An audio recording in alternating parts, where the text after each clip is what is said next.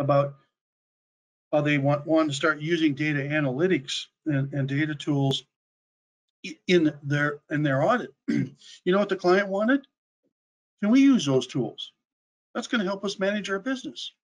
And so uh, where the firm thought they were going to be investing in building all of this data stuff to help accommodate the audit, the client bu- hired them to consult to do the work, and all of a sudden, they got a tool that the client was using, and, and it also helped, uh, and that's helped the auditor carry out their work. So it was a win-win. But so it's, a- it's an interesting concept.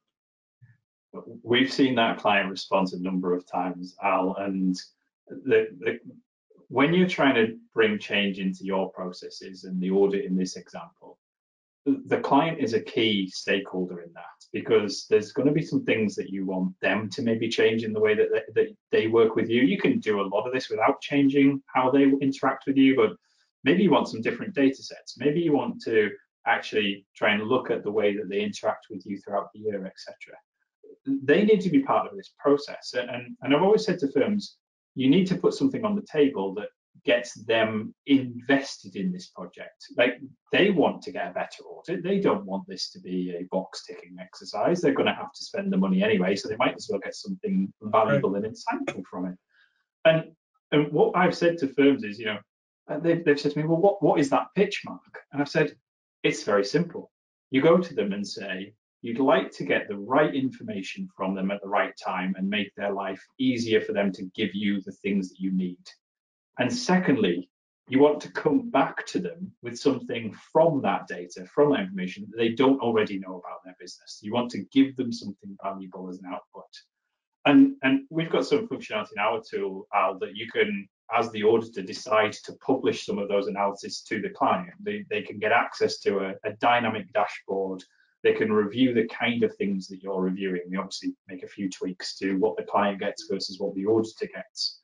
But the clients are completely interested in that piece. And they're the ones then saying to me, to your point earlier, in the UK, it can take up to nine months for the signed financial statements to be publicly available or to be finalized.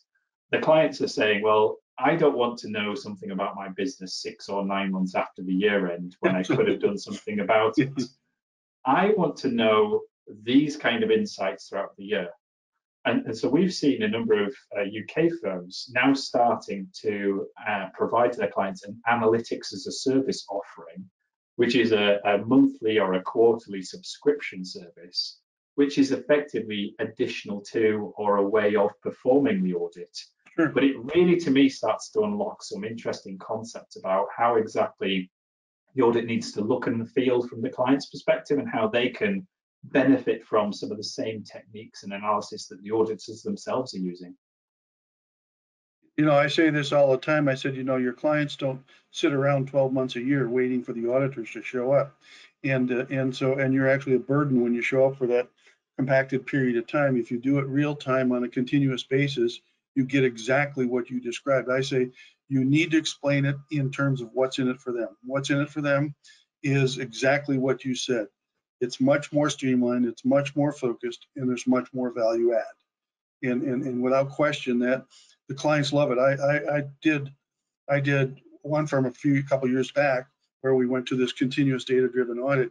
And they said, well, we're going to kind of go talk to this one client, but we're not sure they're going to uh, want to be on board. And they said, are you kidding? It's about time you're doing stuff on a much more real time basis. When, when can we get started?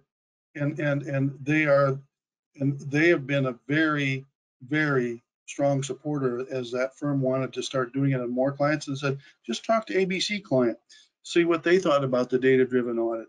And so they've grown their data driven audit practice significantly just because that one firm is in love with it and they've and they've gotten so much more value from it. I love the idea of analytics as a service because because it's the, the value of the auditor is not ticking and tying, it's the interpretation, it's the knowledge. And uh, and that's crucial to to uh, really re- building and, and retaining our long-term relevance in our profession for sure.